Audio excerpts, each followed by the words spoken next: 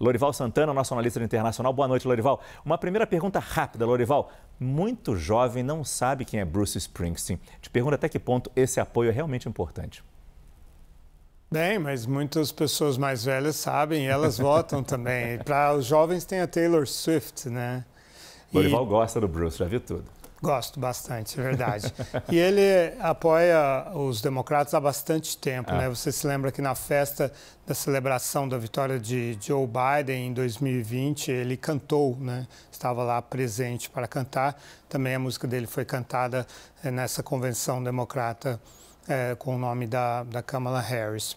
E cá entre nós, né, Lorival, a, a, a, principal música, uma das mais famosas, Born in the USA, é quase um hino americano, é um tremendo impacto de se ouvir. Certamente esses jovens não devem lembrar de quem é Bruce Springsteen, da figura dele, mas já ouviram Born USA, in the USA há muito tempo. Agora te pergunto, nessa, nessa reta final que nós estamos para a votação em novembro, praticamente um mês da eleição, os dois estão intensificando campanhas, especialmente nos estados pêndulo.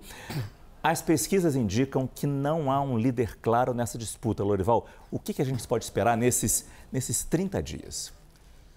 Bem, do ponto de vista da Kamala Harris, que aliás está no Michigan hoje, um desses importantes estados pêndulo, e, e, o Trump, nós estávamos noticiando que irá a Pensilvânia, outro import, mais importante de todos os estados pêndulo, pelo número é, de cadeiras no colégio eleitoral.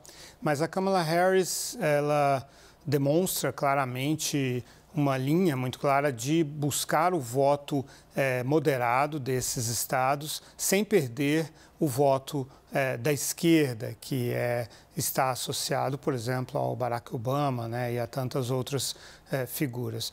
Ontem foi muito importante a participação da Liz Cheney em um comício no Wisconsin. ela que é de lá, do Wisconsin, nasceu lá, filha do ex vice-presidente Dick Cheney, uma foi o número 3 da bancada republicana, da liderança da bancada, e não gosta de forma alguma do Trump, mas é uma figura historicamente republicana, ela colocou ali os seus valores conservadores, sua discordância fundamental é, da visão de economia, de sociedade que os democratas têm, mas está se juntou à campanha de Kamala Harris para é, para tentar evitar a eleição, a reeleição de Donald Trump, pelo perigo que ele representa para a democracia na visão da Liz Cheney e de tantas outras pessoas. Então, esse tipo é, de reforço, de estratégia, vai ajudando né, a, a, conquistar esse voto que falta tanto para a Kamala Harris, para o Donald Trump. Ele, por sua vez, até aqui, demonstrou uma certa dificuldade é, de trabalhar por esse voto, pela conquista é, desse voto. Né? Ele tem uma resistência forte em abandonar é, a persona dele, né, que foi a que o levou a uma eleição. É até compreensível, né, porque ele se elegeu presidente com base nessa persona mais agressiva, mais excêntrica, mais dis disruptiva, inclusive. Né.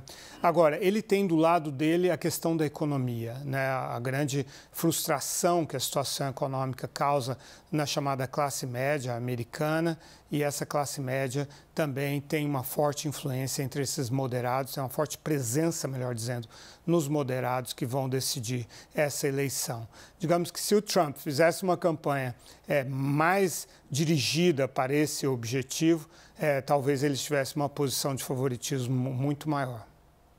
Muito obrigado, Lorival Santana.